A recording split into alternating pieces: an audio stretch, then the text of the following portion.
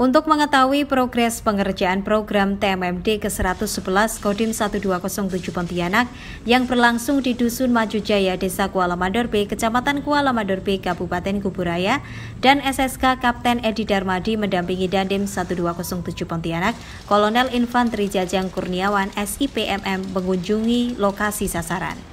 Pemantauan kali ini juga memonitor perkembangan sasaran prioritas berupa pembangunan jalan rapat beton sepanjang 1.100 meter yang membentang di Dusun Maju Jaya.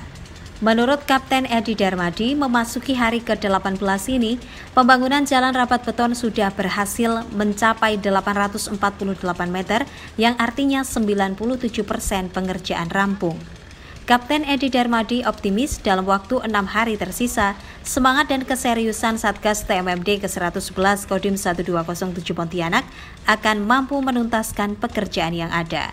Tidak hanya siang hari, malam hari pun Satgas TMMD ke-111 bersama masyarakat akan terus mempercepat penyelesaian pengerjaan jalan rapat beton agar dapat selesai sesuai target yang ada. Ini tingginya 40 kasih. Assalamualaikum warahmatullahi wabarakatuh. Uh, pada saat ini saya selaku dan Beska yaitu Kapten Kapal Tni Darmadi itu saat ini mendampingi uh, dan Satgas uh, TMMD reguler ke 111 Kodim 1207 DS eh, Pontianak yang saat ini berkunjung untuk melihat secara langsung uh, perolehan uh, sasaran fisik yang sudah dikerjakan sampai hari ke 18 ini.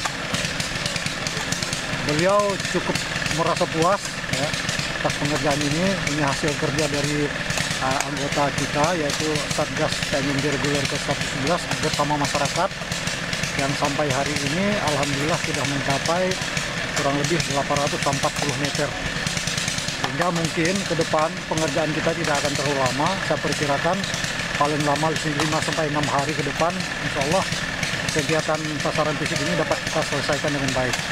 Apalagi antusias masyarakat ini kita tahu, ya, hampir setiap hari, siang dan malam, uh, mereka ini uh, mengakui apa mau, mau bekerja gitu.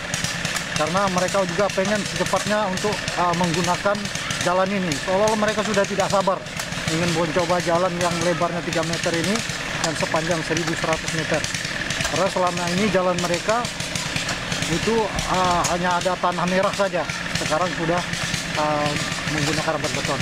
Kita cukup bersyukur ya dan terima kasih banyak. Dan kami juga berterima kasih banyak kepada dan Satgas yang pada saat ini meninjau sasaran fisik dan memberikan semangat kepada para pekerja khususnya Satgas uh, TMMD reguler ke 111 ini bersama masyarakat.